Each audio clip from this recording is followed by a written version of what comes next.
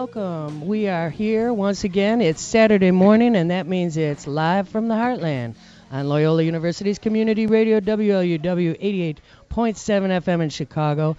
We are thrilled to be here on this, uh, uh, as of yet, gray and uh, chilly day, but uh, we welcome you to uh, listen in for the next hour, hear about community activities, uh, politics, food systems, uh, revolution in America.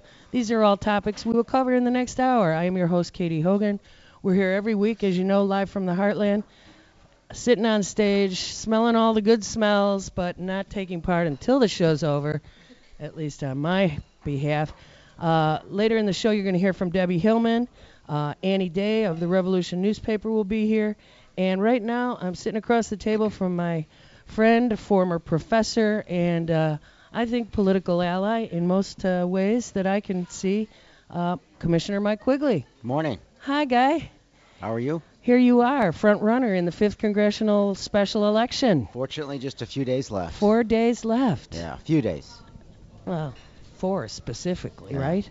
Yes. And here you are in the 9th Congressional. Sorry, we'll, we'll only hold you for another half hour. I'm glad to be here, though. I'm really glad you're to here. allies who will uh, go down and, and work precincts for us today. Yes, and uh, what's what is? Give me just a since you started. What's the picture that you would like to portray of your campaign? Something that had to be put together like that. Yeah, I, I heard someone say that um, this was their lifelong ambition uh, since um, Rahm decided to go to D.C. I, I think most people imagined that this seat would be uh, Rahm's seat because he had am- ambitions to be Speaker of the House. Sure. So when he made the decision to become the president's chief of staff, there was a lot of scrambling. Um, And that it was that was exactly when October. um, oh, even a little later than that. Yeah, I think mean, so. I don't think.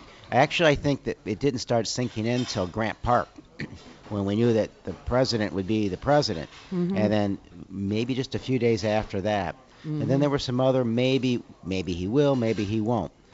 So as a result, you've got a crowded field, and everyone had to throw a campaign together, a federal campaign together in a hurry, which is hard to do. You have to raise money a whole different way. What what uh, anything that us neophytes or laymen need to know about that raising money a whole different way thing?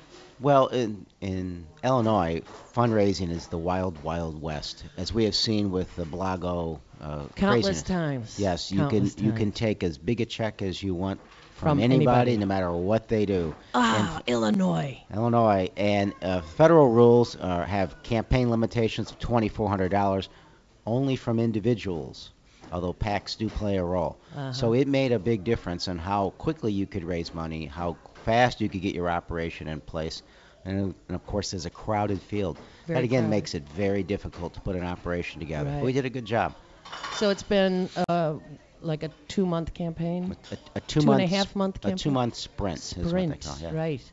And um, what do you think will be the core of your support? First of all, the 5th Congressional District, let's describe it for folks out there, goes from the lake front to Like 294. 294. So Right. the suburbs that you include are Uh, the suburbs near O'Hare, like Elmwood Sh- Park and Elmwood Franklin Park, uh, a, a Schiller few, Park? yeah, a few others, but uh, only about 10% of those who vote will come from the suburbs. Mhm. It is a district that, that stretches from Lincoln Park and Lakeview all the way to Portage Park.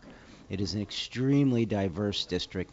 It is uh, it, it is not like the ninth congressional, Congressional. district at all. It is a, uh, probably classified demographically as an older, more Catholic district. yes. Um, but it is a real diverse area, and I think it's a challenge to run a campaign in that area, and it's a it's a it's a more unique challenge representing a diverse area like that. But if you're willing to work hard it, and work with everyone, it's uh, very doable.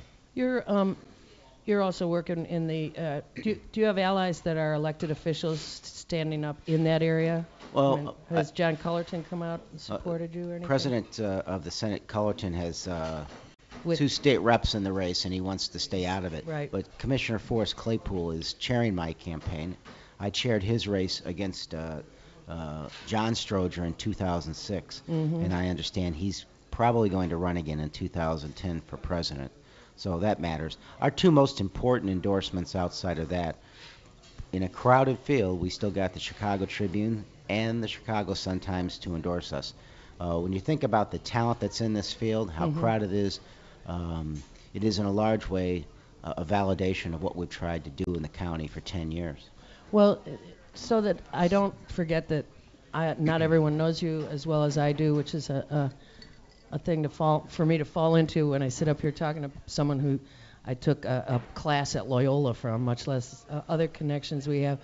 Um, what makes what drives you to take on this job? What would you uh, see as your major um, areas of uh, work if Mhm. you made the Congress? What would you be doing for your uh, voters in the fifth district? You know, there's one issue to me that transcends all the others, especially in the days of Blago Burris.